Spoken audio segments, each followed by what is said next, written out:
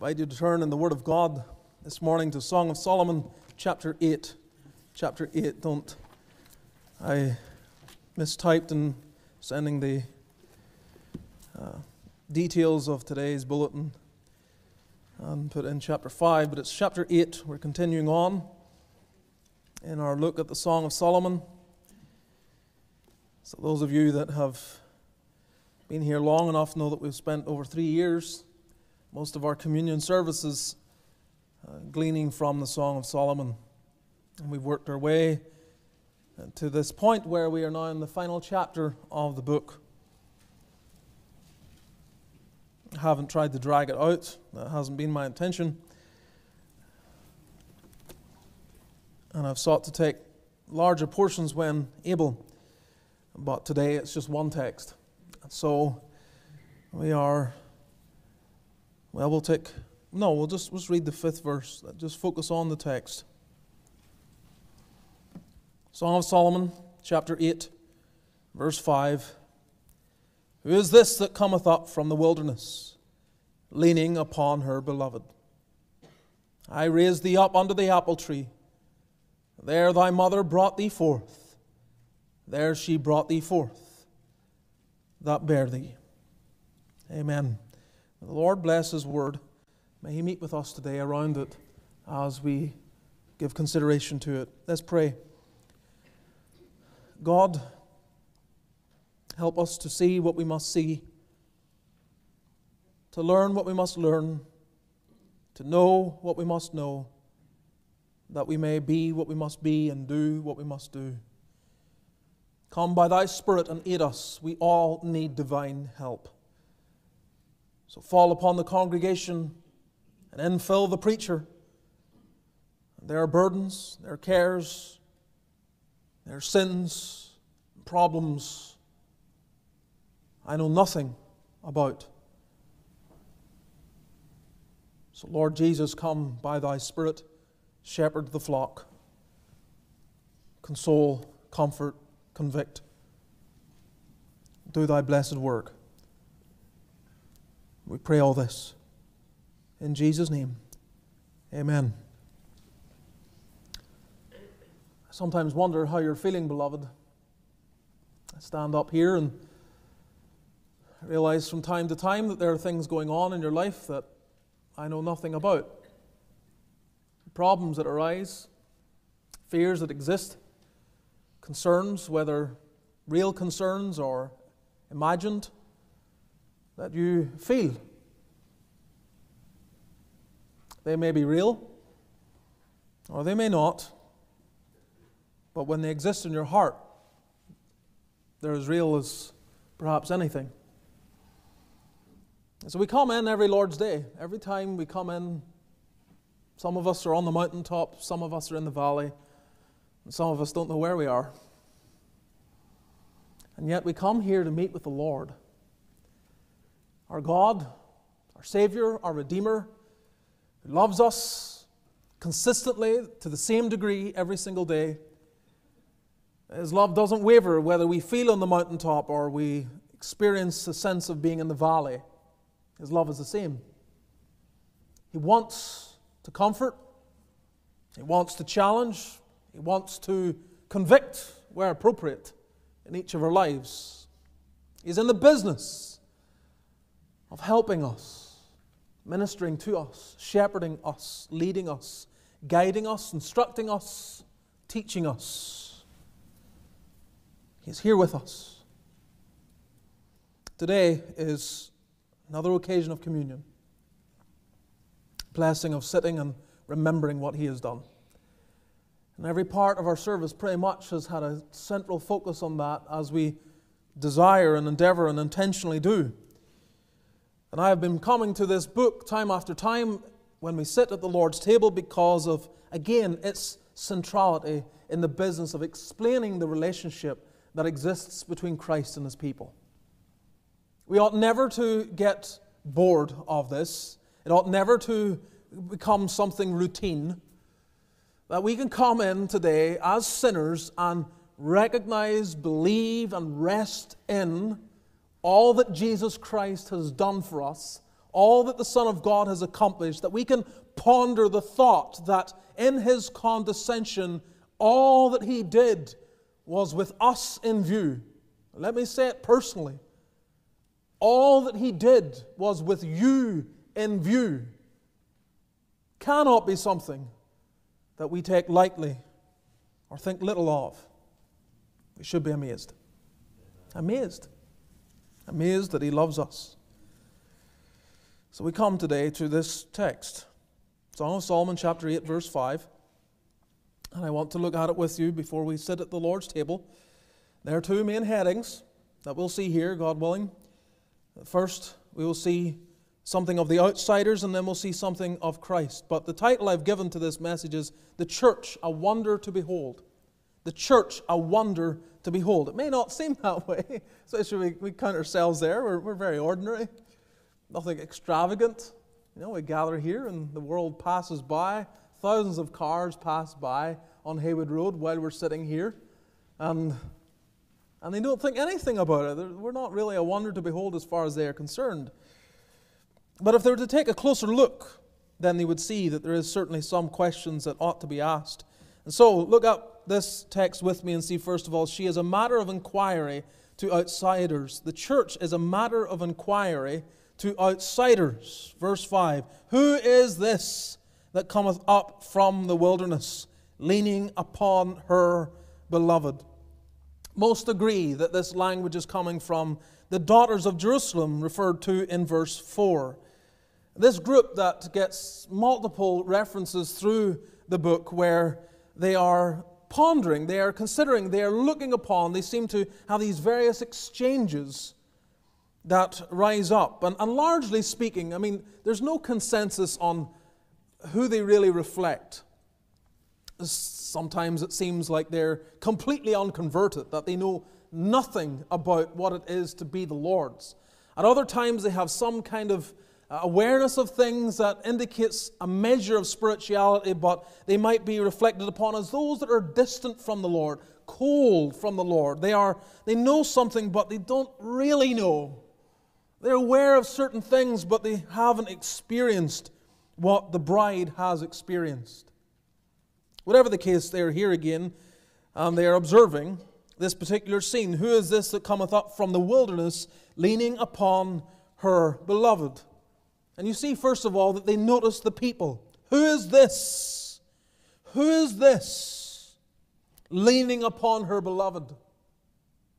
They notice two characters they see the bridegroom, the beloved, and the bride who is leaning upon him. They notice these characters and they are drawn to consider and ask the question, particularly not about the beloved, but about her. Who is this leaning upon her beloved? Who's this one? Who is she? What do we know about her? They see in looking at her, no doubt, the fact that she is not one with inherent strength in herself. She is leaning upon her beloved, indicating her dependence, indicating her vulnerability. And they see that, they're inquiring, they're looking at her amidst this condition. They not only notice the people, they notice the place because they are coming up from the wilderness. They're coming from the wilderness. They're coming from that barren place where there's no, no prophet a place that is harsh and difficult, a place where no one really wants to be. And beloved, this scene, this scene here is, is very much just looking at the Lord with his people coming out of the place where he found them. Again, you read Matthew Henry here, that's, that's the scene that he depicts. He observes here, here's the Jewish church being brought out of the wilderness by the Lord as their Redeemer pulled out of that condition that they could never deliver themselves from. In Deuteronomy chapter 32, you may turn there just for your own encouragement, but Deuteronomy 32, Moses, in verse 9 and 10, we're told, For the Lord's portion is his people. Jacob is the lot of his inheritance. He found him in a desert land and in the waste howling wilderness. He led him about, he instructed him, he kept him as the apple of his eye. This is where the Lord found his people in a wilderness. He didn't look at the greatest of people, he didn't look at the, the chief and uppermost and most, uh, that which would be the natural fall of the eye, let's say. When the Lord looked upon the earth and he chose a people to himself, he found a people that had, had nothing. They weren't selling themselves, they weren't showing themselves to be worthy of his attention. That's the way we are. That's the way we choose things. It's, it's not like you're going to buy a house and you find, like, you know, the, the worst place that is going to give you the most heartache and say, that's the place where I want to pour in my love. I mean, there may be a few that do that, providing the price is right. but, but, but you don't do that generally. You don't, you don't look at things. You look at, you look at that which is appealing, that which naturally the eye falls upon and says, Yep, that's, that's, that's where I want to abide. But the Lord looks upon a people not like that. He sees the mess that they are, the emptiness, the powerlessness, the lack of glory. He found him in a desert land. And this is the scene then. This is the scene. Israel's being reminded in this book. Again, it's not, it's not marriage, it's not a human relationship. It's the song of songs. If it was a mere human thing, it wouldn't be the song of songs. Any of the Psalms would be far greater than it. It is a song of songs because it elevates the relationship of Christ to his people. And Israel is being reminded that they were found in the wilderness. They were found in the wilderness. They were brought out of that wilderness by the Lord. We might say First, if the wilderness is the world, there's no coming out of there without Christ and salvation. If the wilderness is the world, there's no coming out of there without Christ and salvation. You can't get yourself out of the world. You're knitted into it. You're bedded into it. You don't know your way through the wilderness without Christ. You can't find a place of refuge by yourself. You might imagine, or there may be those mirages that appear and they're sold to you as, as the very thing that you need false religions, the aspiration for the American dream, the other aspects that are sold to you as, as conveniences and blessings and privileges. But, but, you, but you try the broken cisterns, and the waters fail every time. But the Lord, the Lord, you see, is the one that can deliver us out of the wilderness the wilderness of sin. All the hurt and the pain caused by sin, the bruises and the wounds and the scars that mar us, and everything that comes, all the, all the counsel of the world, all the religions of the world, all the philosophy of the world, they fail to deal with the root of the problem. They put band aids over open wounds that never heal. And we're taught to try and think differently about them, to imagine that we've dealt with the problem, but it's not. It's there, festering, getting infected. Over the years, it becomes worse and worse. So the man lying on his deathbed has no peace, no rest. He has wandered through the wilderness, trying different things, and has never found peace. Because without Christ, friends, without Christ, you can't get out of the wilderness. Who is this that cometh up from the wilderness, leaning upon her beloved? It is one that has been brought by him out of the wilderness, led by him out of the wilderness. Turn to Psalm 107. Psalm 107.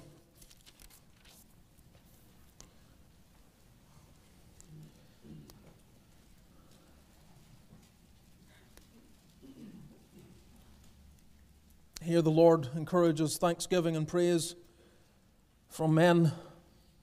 But you can see the particular individuals that ought to praise the Lord. The opening verses Psalm 107, verse 1 Give thanks unto the Lord, for he is good, for his mercy endureth forever. Let the redeemed of the Lord say so, whom he hath redeemed from the hand of the enemy, and gathered them out of the lands, from the east, and from the west, from the north, and from the south.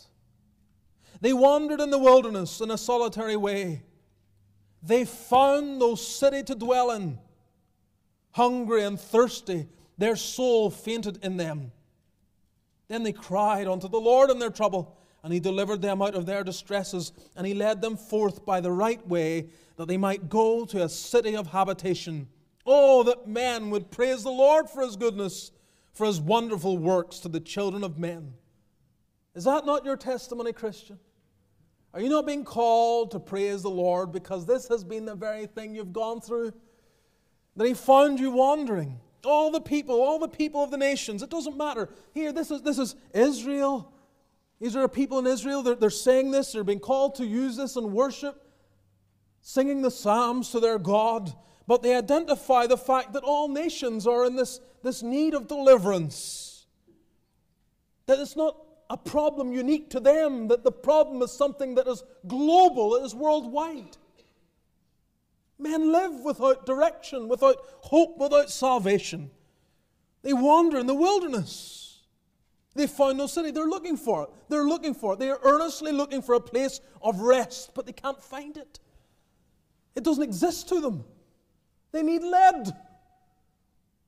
This is where the shepherd comes in. This is what we're being told in Song of Solomon. She is coming up out of the wilderness or from the wilderness, leaning upon her beloved. She's, she's resting there. And He is leading the way. He is bringing her out of the world in salvation, in deliverance, bringing her to a place, a city of habitation. Now, you're still leaning on Him, aren't you, Christian? Tell me you're still following the shepherd. You're still leaning on Him and depending on Him. Don't tell me, don't tell me that your salvation was some once and done act in the past in the sense that you look to Him, you prayed a prayer, and you just kind of have continued on, never thinking about Him or His will or how you might glorify Him. Please tell me that's not your testimony. Tell me today that from that hour that you looked and you experienced eternal life, that you've continued to rest in Him to depend on Him, to trust Him, and learning more and more that He can be trusted. But also, if the wilderness is the world, there's no coming out of there without Christ and sanctification. The fact is, we're still in this world. And there's a sense in which we're still in the wilderness. We're not lost, we've been saved. We belong to the Lord and we're leaning on our beloved. We have Christ right there. But He didn't save us and then immediately take us to our final place of habitation. He didn't whisk us into heaven, did He? You're here. You're still in this world. And it has a wilderness feel about it, doesn't it? Some of you know it more than others. Some of you are keenly aware of it. You feel the howling winds, you feel the heat, you feel the difficulty of traversing through this world. Uh, there, there are certain things, certain seasons, certain experiences of life that can shelter us. You know, if we don't have any financial problems, if we have no real desires of, of any particular pressing sort, then we may drift along and kind of imagine that we're, we're at peace in this world. But very few of the Lord's people feel that. I mean, the Lord's people, when they're really walking close to the Lord, they have this constant awareness that this vile world is no friend of grace to help them on to God. They know that.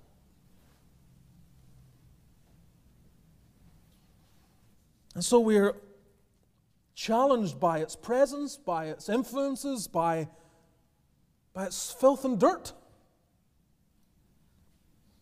And we have to come and sit before the Lord, lean on Him, as it were, and have Him. John 13, we have to have Him wash our feet. Wash my feet, Lord. What have you faced this past week? Have you faced sin? Have you seen and heard things that have grieved your soul? In the home, outside the home? you go out there, you face a hostile world. And you need to lean. You need to lean on Him in sanctification as He walks you through the wilderness of this life. So you can see from the text, going back to Song of Solomon, that they notice the people, the bride and the, the bridegroom. They, they recognize who is this leaning upon her beloved. They notice the place coming up from the wilderness. But they notice also the posture, don't they? They notice the posture, leaning upon her beloved. Leaning. This is a picture of that oft quoted, oft used text. We write it in cards all the time. We tell it to young people. We, we preach it to ourselves in times of difficulty. Proverbs 3 5 and 6. Trust in the Lord with all thine heart, and lean not unto thine own understanding. In all thy ways acknowledge him, and he shall direct thy paths. We use it all of the time. All of the time. You come to a juncture in your life, and everybody knows you're coming to that juncture. Say you're getting married or something else is happening. You know, the, the cards come in, and note the number of them. Note the number of references. Take, take, a, take a look to see, well, look at all the references people have used and see which ones come up more than any others. I'll tell you that there's a good chance that Proverbs 3, 5, and 6 will be one of the most commonly used texts as you come to various points in your life.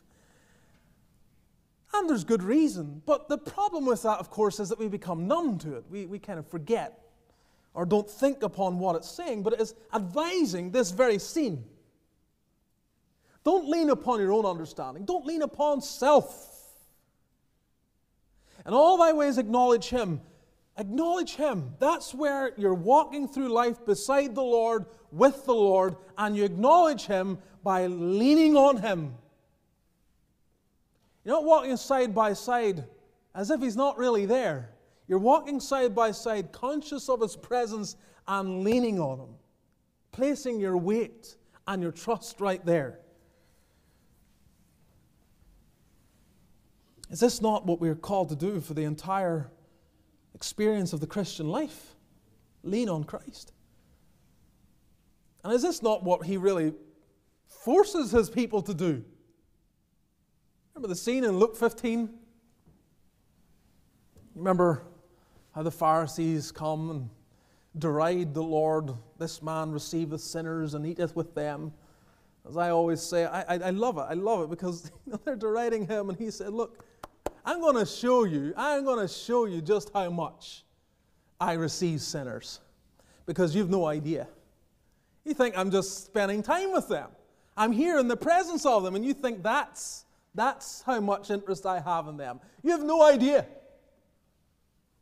And so he paints the scene. You remember it.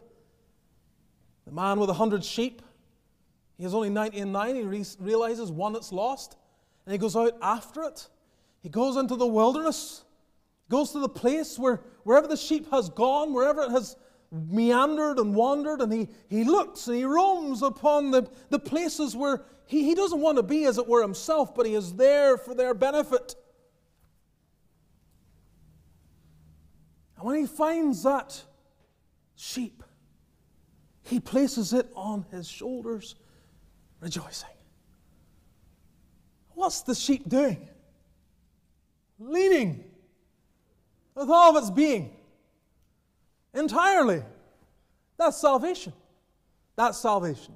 It's not Christ does most of it and you do a little bit. You make sure you go to Mass, make sure you're baptized, make sure you go to the confessional, or make sure whatever your form of religion requires of you. No, the shepherd finds a sheep that's lost, he picks it up, and he puts it on his shoulders. All the weight is on him. And he walks with it and he takes it home on his shoulders the entire way, seeking for a city of habitation, he takes that sheep home, leaning on him. So, this is what we are to do. This is a wonderful picture, isn't it? Leaning upon our beloved, not leaning on ourselves. Christian, don't be leaning on yourself this morning. Stop leaning on your own understanding. Stop leaning on your own wits. Stop leaning on your own strength. Stop leaning on the fact that historically you've done okay and you think because historically you've done okay, you have a track record and therefore you can kind of branch out on your own. You can't. Lean on Him. Lean. Lean. Constantly lean. And when you think you're leaning but you're wondering, am I really leaning, then just, just, just lean all the more Don't lean less, lean more. He found you needing, needing rescuing. And he had no objection to take all the weight. He didn't say to you, I'll take you home, I'll lead you home if you can walk the way there. He picked you up. So we might say we lean on him for his work, don't we? We lean on him for his work, not our own. What are we celebrating this morning? What are we rejoicing in? What's put before us? Our work? No, his work. This is what we're leaning upon. We lean on the blood of Christ for our pardon, don't we?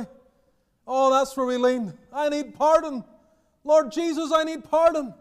Blessed Lamb of God, for he has shed his blood on Calvary's cross. He has died the just for the unjust to bring us to God. That blood speaks for me, speaks, speaks pardon, redemption, reconciliation, union. It calls me into fellowship with the Most High God. And it can't be ignored. It cannot be ignored. The person resting in the blood of Christ cannot be ignored. When I see the blood, I will pass over you. Couldn't ignore it then, could he? He couldn't ignore it there, Exodus 12. Could not ignore the blood that was sprinkled upon the doorpost and the lintel of the homes. He couldn't ignore it. So judgment passed over. So we lean on Him. We lean on the blood of Christ for pardon. Stop trying Stop trying to obtain pardon by your own effort. Maybe if I do this, then the Lord will, will in some way, that will deal with my sins of the past. It's, it's like some kind of penance. Now, by doing X, Y, and Z, it will cover A, B, and C that I am guilty of. No. You lean on the blood of Christ for your pardon. You lean on the righteousness of Christ for your justification. How are you going to stand before God? You say, Well, the blood of Christ has washed away my sin. Yes. But He looks for righteousness, not just the absence of sin, the presence of righteousness. The absence of sin does not declare you have obeyed His law, it just declares that you haven't broken it. It is the presence of righteousness that he looks down upon and says, Yes, I am well pleased. And that he saw in Jesus Christ. That he saw there as he was baptized and he said, This is my beloved Son in whom I am well pleased. And that's where you need to be. You need to be right there in Christ, resting in his righteousness, depending on his life Oh, stop looking, stop looking at yourself. Stop, stop trying to, to impress God. really.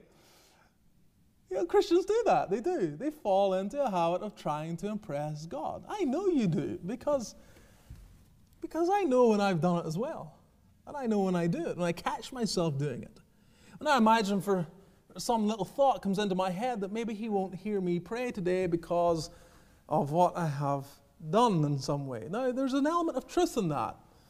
There's an element of truth in the sense that if there's unconfessed sin, the Lord will not hear us.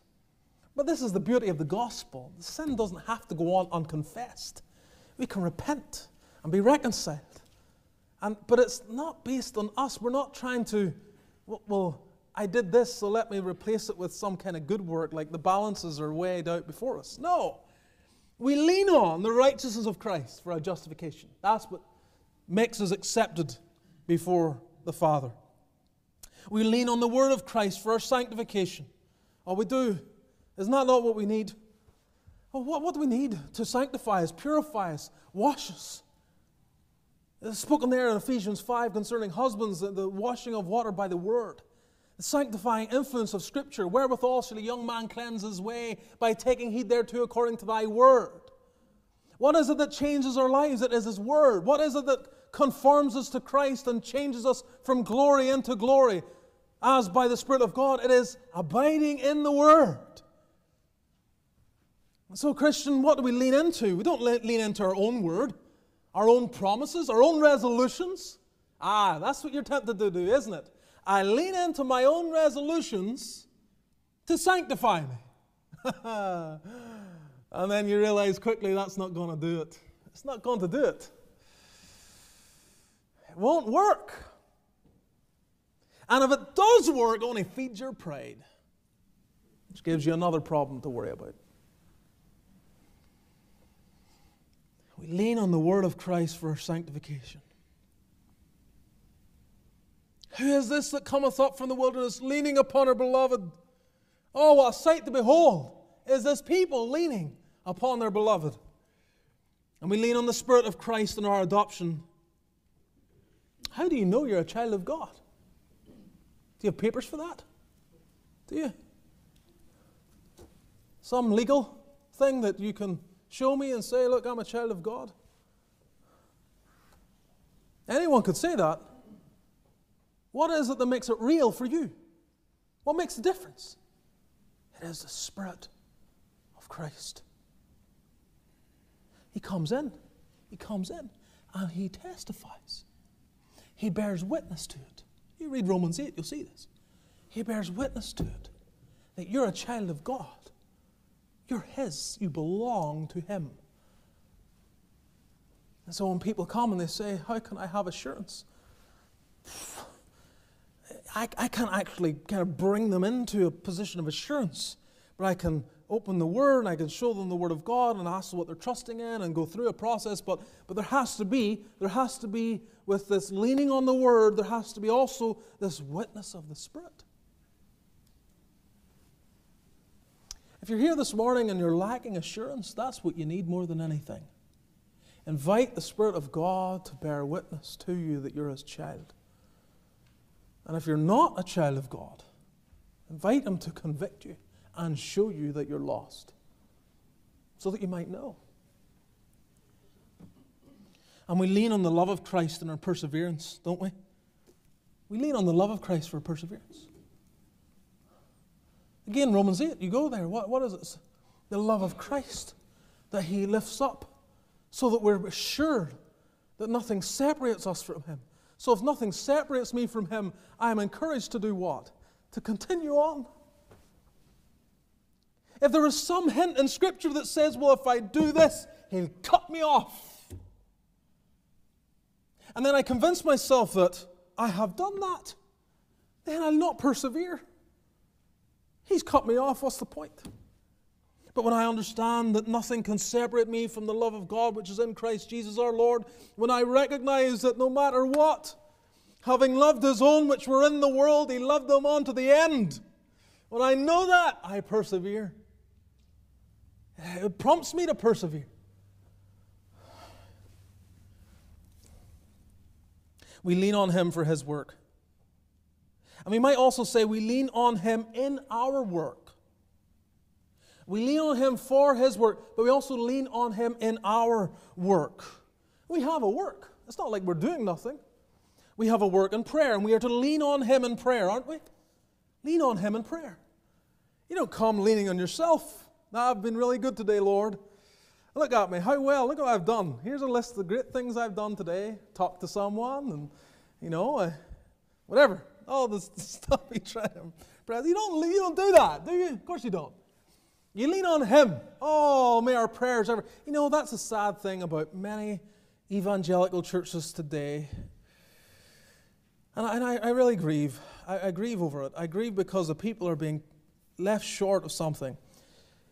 And I think of how I was taught to pray from the pulpit and from those in the prayer meeting that I, where I was first converted. They always would, would begin in some way thinking upon, resting upon rehearsing before God their acceptance before God. They didn't just come in with requests, they remembered. They remembered their approach. And they're always referring then in their opening parts of their prayers, they're reflecting upon we come by Jesus Christ. We, they remember they have an advocate with the Father. They, they, they rehearse the cross work, the efficacy of the shed blood, the perfection of his righteousness, even as they come and approach unto God. I hope you pick up on that in the prayers offered here because it's instructive. What are you doing when you do that? You're, you're teaching your heart, you're teaching everyone around you, you're teaching your children when it's in the home, you're teaching them, lean on Christ in prayer. You're coming up out of the wilderness, you're leaning upon Him even in the work of prayer. You lean on Him in worship, don't you? Can you worship in an acceptable way? Can you? Is your the meditation that you offer to God acceptable simply because you're doing it or the way you're doing it? You have to lean on Christ, don't you? You lean on Him. Oh, they see, there's a, there's a sense in which there, there are places for prayer in our worship where we, we actually engage in prayer, but all of our worship is a form of prayer. It has to be prayerfully, even as you're listening to the Word. As you're listening, learn to pray through the Word. Pray the truths into your heart, pray them into your soul. Pray them in. Pray them in. It's not passive, it's active. Praying in the Word as it comes to your heart.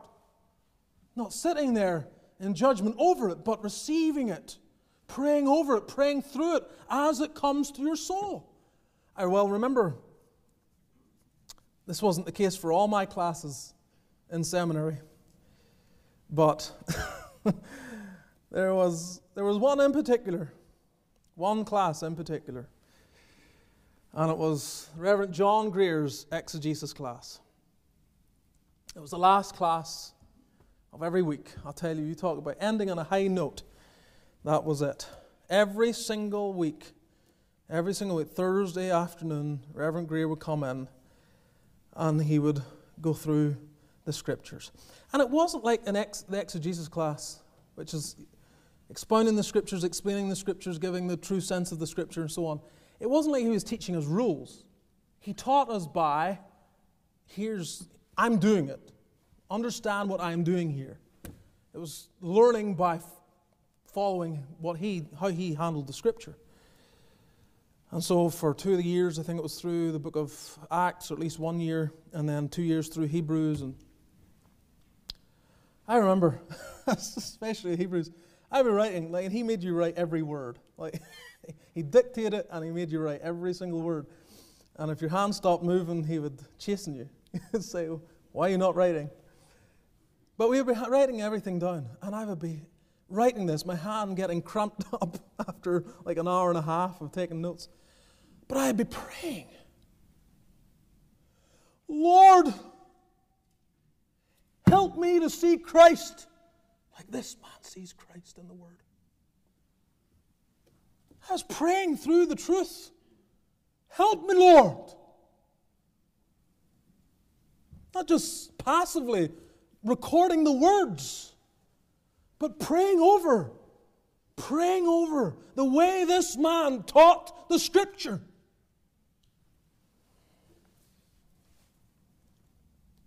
And that's how we all should worship the Lord, leaning on Him. We lean on Him in giving.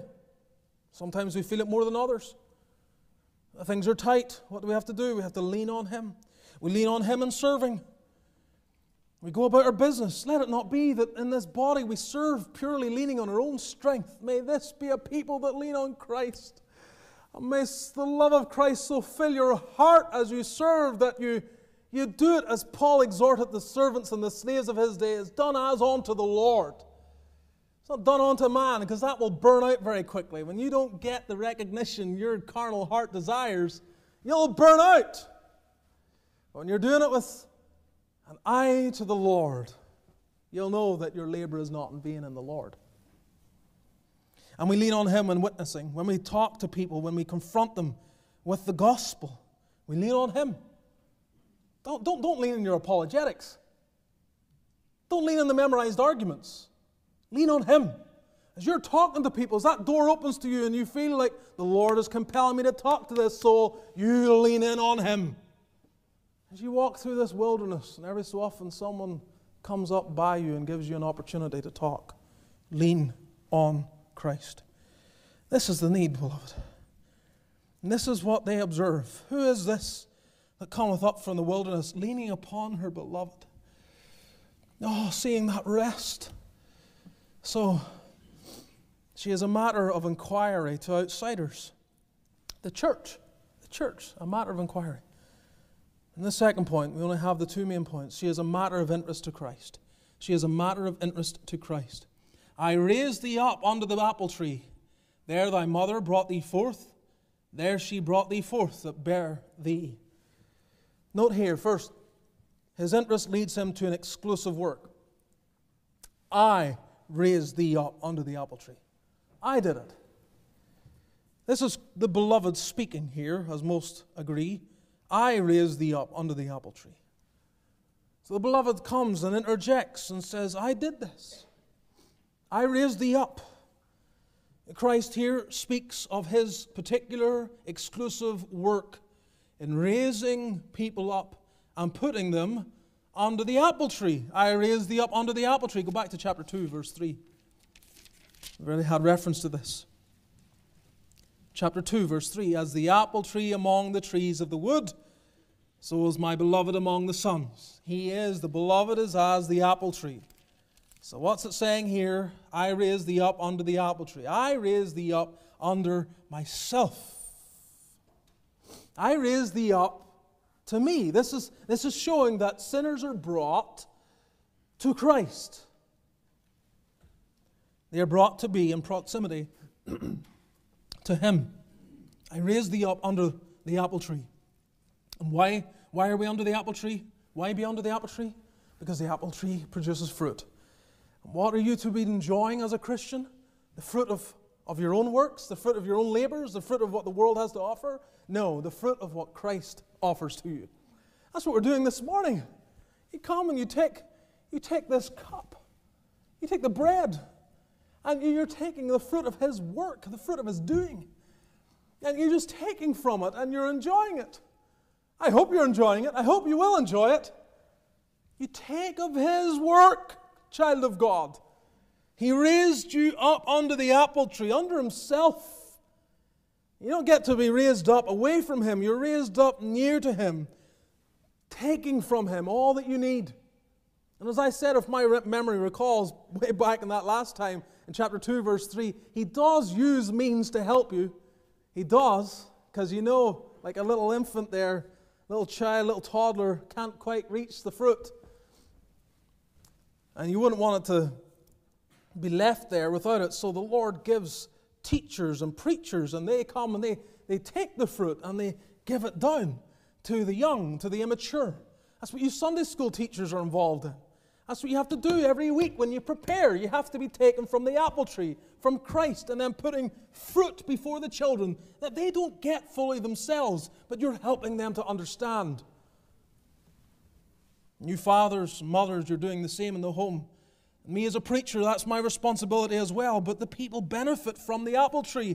Be an awful thing that you come to Christ then all we talk about is kind of the self help garbage that's lining the shelves of most Christian bookstores today.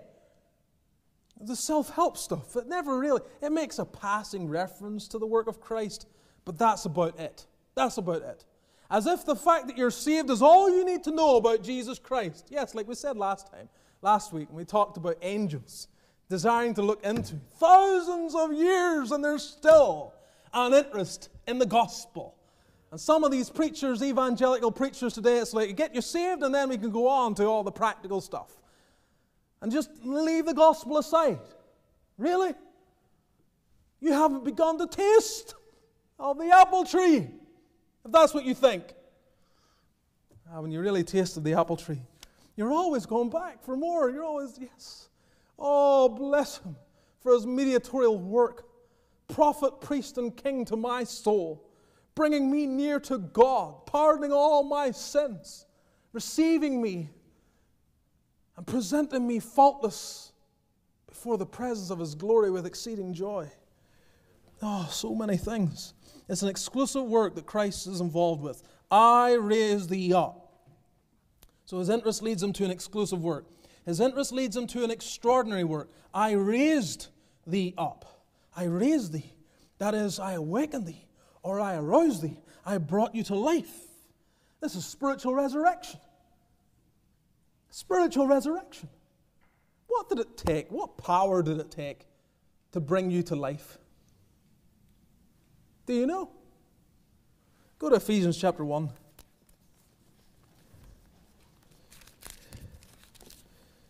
Ephesians chapter 1.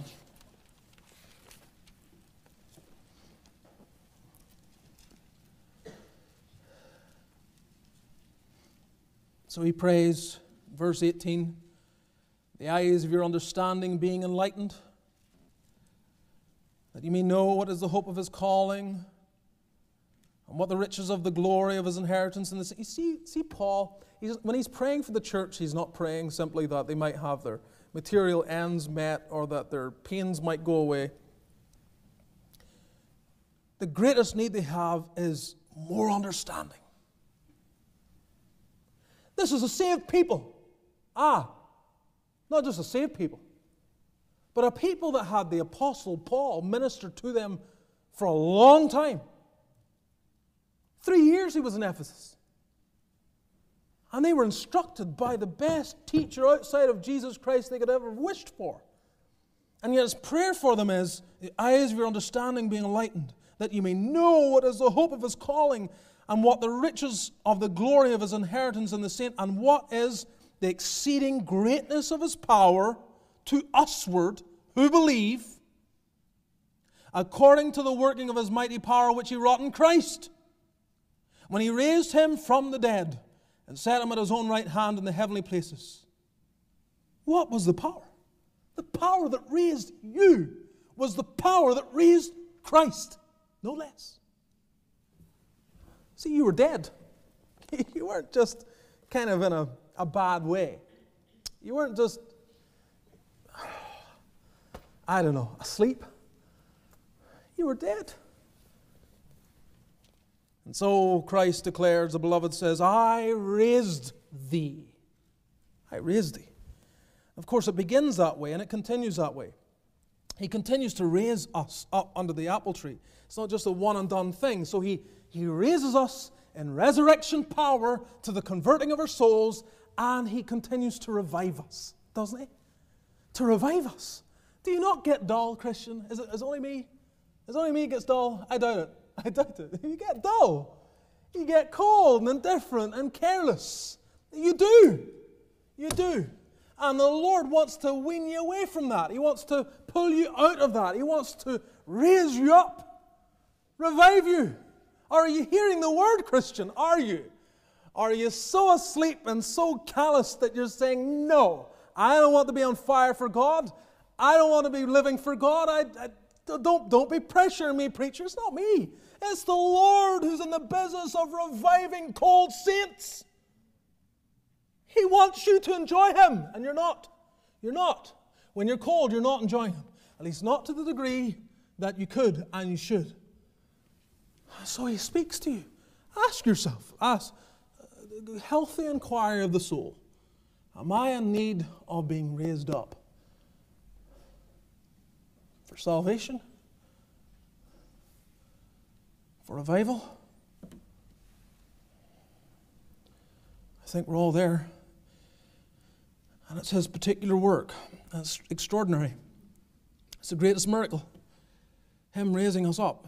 We're dead, He brings us to life. We're cold, He quickens us. Then, thirdly, very quickly, His interest leads Him to an expansive work. An expansive work. I don't need to say much here, we've considered this on other occasions, because there, that is under the apple tree, thy mother brought thee forth. There she brought thee forth that bare thee. The mother. As all the reformers believe, the church functions as a mother in the world. And we've made mention of this other occasions with reference to the mother. It's the church. God, the Lord Jesus expands his work so it's not just him. Now, the primary power is through him, but he is using means. So it can be said, for example, that we are laborers together with God. Laborers together with God. He pulls his people in. The church functions in this role of nurturing those that are in Christ. There thy mother brought thee forth. So the church has to first be under Christ, under the apple tree. I hope we are. I hope we are. An awful thing for us to drift and become modern day Pharisees or some other thing that displeased the Lord. We stay under the apple tree. And there we see, we see people brought forth. The church gets to birth souls, see her children regenerated, see lost people won for Christ. The church gets to see this, and they become part of this wider, expansive work where Christ is not just working directly from heaven in individual lives, He is working directly from heaven over His church expanded across the globe and gathering people through that.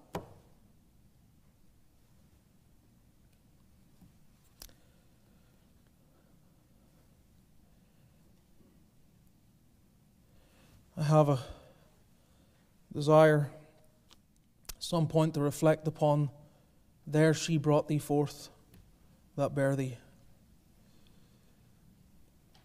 What does it take to bear a child into the world? Us men can only hear about it by testimony. Many of you women folk, you know by experience. And I have a deep concern that we have lost or we're in danger of losing the art of travail in the church.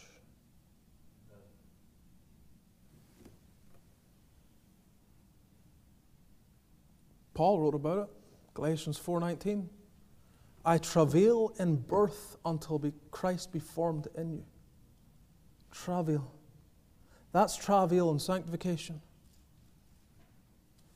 There's travail also in salvation travailing to bring souls birthed into life, to be burdened for souls. But this morning, as we close, we lean. Child of God, we lean. The table is before us. It is a place of rest place of refreshment, a place of revival. We lean on that body that was broken for us, on that blood that was shed for us. We lean in all that Christ is and all that Christ has done. Will you lean today, will you? Will you lean a little more on the Lord? Will you ask Him to help you to lean more on Him? May He help us all. Let's pray.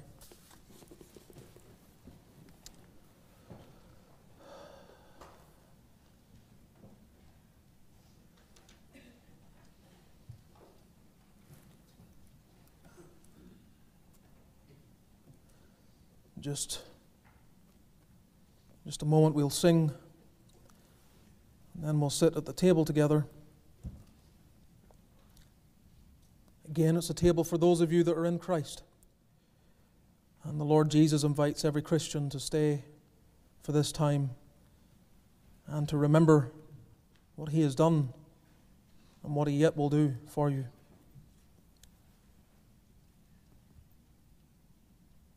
May I ask you again, those of you here, are you really leaning on Christ? Do you know Him?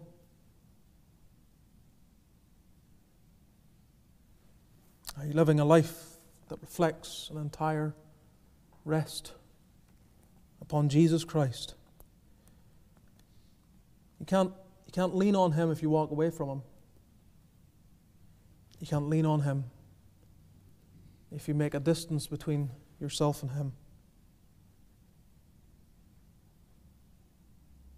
May the Lord bring you near. God bless thy word. Make it a means of sanctification to every heart. And should there be those without Christ, may it be a means of saving. maybe an instrument to provoke their conscience, to prod their hearts, to plough up the fallow ground. Save and sanctify, therefore, we pray. Help us now as we continue in this wonderful privilege. Give us tender hearts. May we, by faith, gaze upon the Lamb. May we be both broken and delighted. In the same time, grieved and joyful that Christ had to die and that Christ did die. Hear us then, we pray, in Jesus' name.